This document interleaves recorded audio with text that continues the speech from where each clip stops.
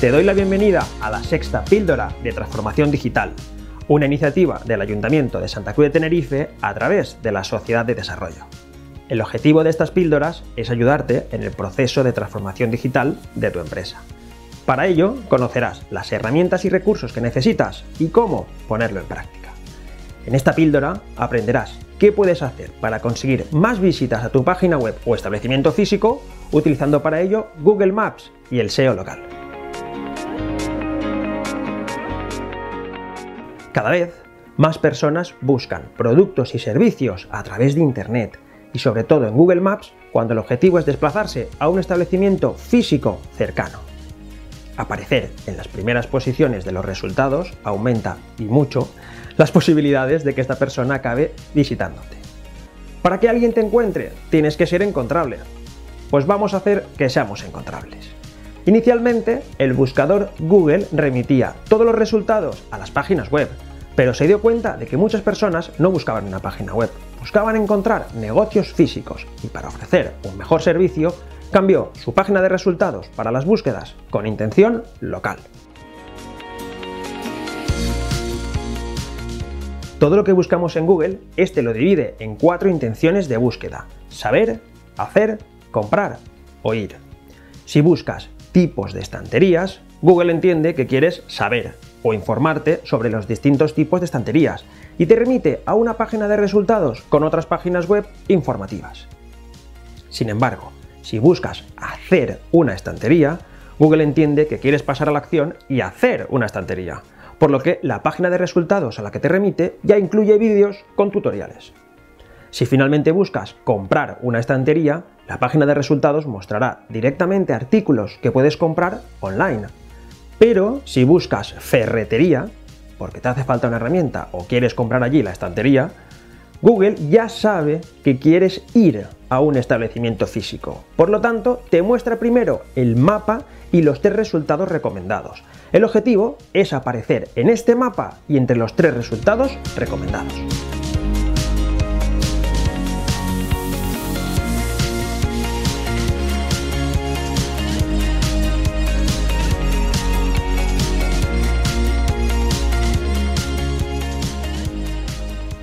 ¿Y por qué Google nos hace grandes?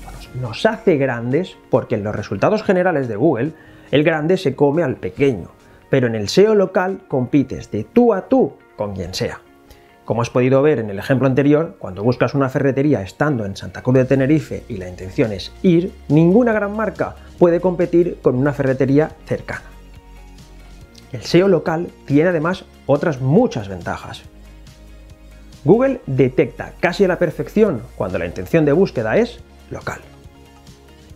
Si alguien busca un establecimiento físico es porque va a ir a cenar, a reparar un teléfono, a un gimnasio, a un concierto. ¿Buscarías una clínica veterinaria si no tuvieras intención de ir? Por lo tanto, el 72% de las búsquedas locales terminan en una visita. Y la mayoría de estas búsquedas locales acaban en compra. Y uno de los datos más importantes, la mitad de las búsquedas en Google tienen intención local. Si no estás trabajando tu presencia a través del SEO local, estás dejando de aparecer en la mitad de Internet. Y como última ventaja, es sencillo. Vamos a ver cómo Google determina estos tres resultados y cómo puedes mejorar para aparecer en ellos.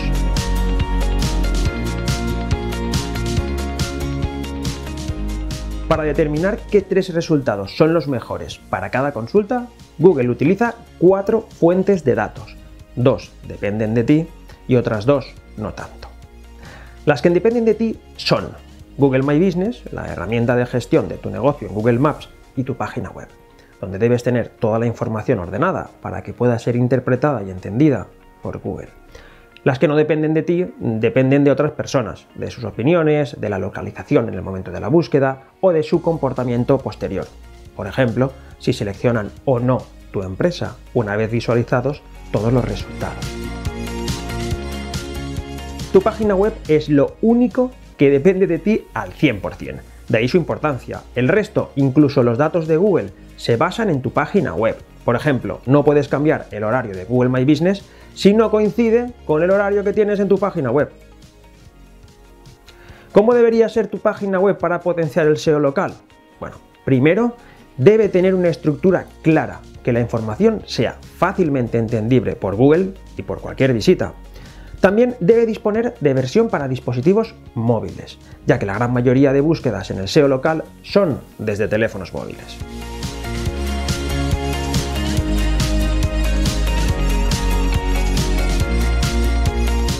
La página de contacto y localización debe ser consistente. El nombre, la dirección y el teléfono siempre han de aparecer iguales en cualquier lugar. Es lo que Google llama NAP. Para poder gestionar tu empresa en Google Maps y acceder a todas las herramientas específicas para la empresa, necesitas crear una cuenta en Google My Business y rellenar la ficha de tu negocio. Para ello, solo necesitarás tener una cuenta de correo electrónico gratuita de Gmail. Si todavía no tienes una cuenta de correo electrónico de Gmail, puedes crear una desde la siguiente dirección. Pulsa en crear una cuenta y sigue los pasos. El siguiente paso es acceder a Google My Business e iniciar sesión con tu nueva cuenta de Gmail.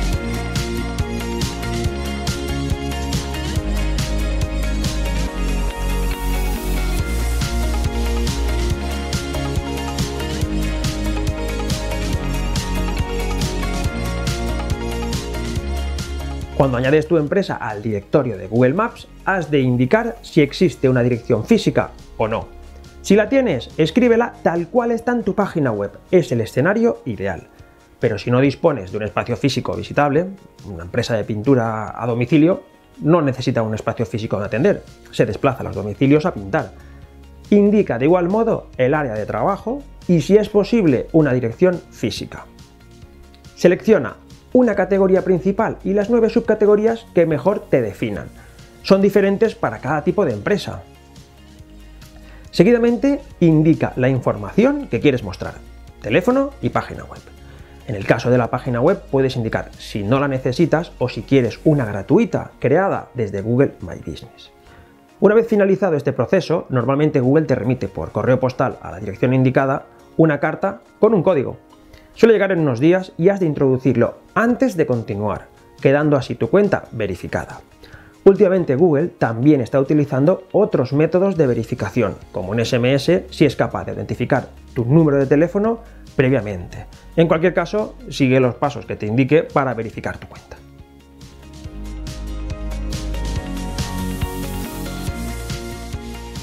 A partir de aquí, Google tiene un plan y te lo repite sin parar.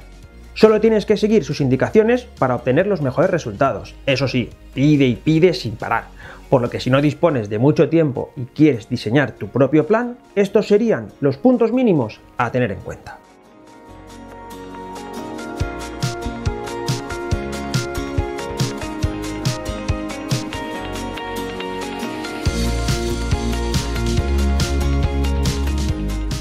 Compartir es ganar como has visto, Google quiere ser una nueva red social de empresas a través de Google Maps y Google My Business.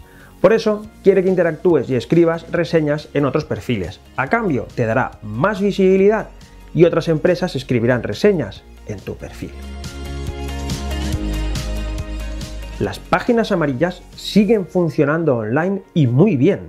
Su directorio es gratuito y además te indicará en todos los sitios web donde puedes dar de alta empresa.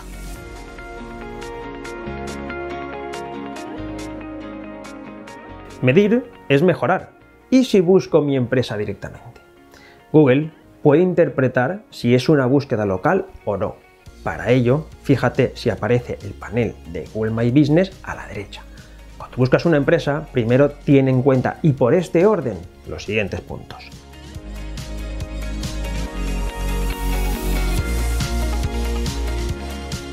Para poder medir tu relevancia en una determinada zona y saber cómo apareces en las búsquedas realizadas desde ese punto, tienes que estar allí.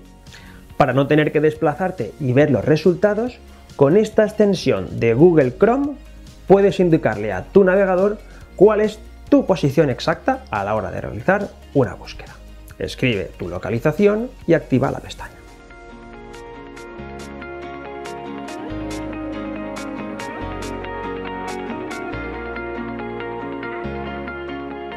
Primero, crea una cuenta de Gmail si no la tienes.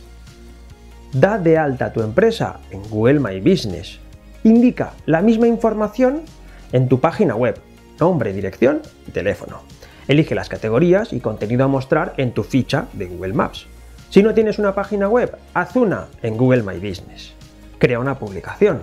Interactúa con otras cuentas. Da de alta tu empresa en páginas amarillas. Realiza pruebas de búsqueda con intención local.